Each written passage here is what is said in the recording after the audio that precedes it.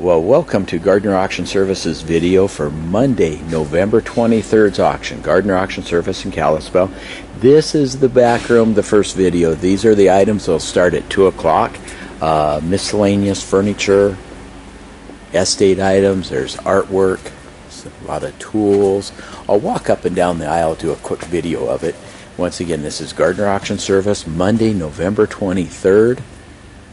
Um, 2 p.m. These are the non-cataloged items that we sell from 2 o'clock to 5 o'clock. Before at 5 o'clock, we'll start on the cataloged items in the main room. Uh, a lot of estate items, uh, families moving, a few liquidations. Interesting sale. Uh, Monday, November 23rd. This part starts at 2. I can see a lot of gun stocks. More tools more furniture, appliances, an old wood cook stove over there, washers and dryers. Then also right here, this item will be sold on the catalog after 5. This is a race car setup. Um, look on our website for more info.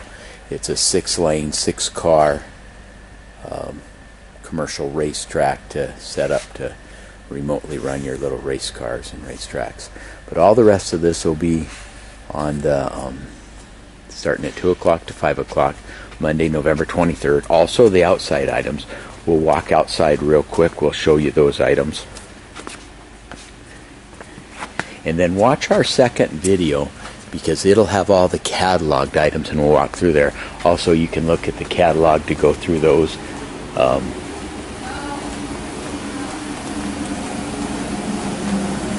walk outside real quick. We'll show you the items underneath the overhang.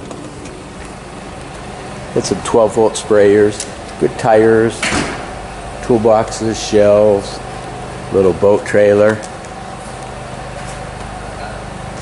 snow blower, garden tractor, some good old troughs, lawnmowers, patio furniture, wood, that, uh, wood stove. Um, like I say, this is all going Monday, November 23rd, 2 p.m. Now watch the second video for all the catalog items. So thank you and look forward to seeing you at the auction.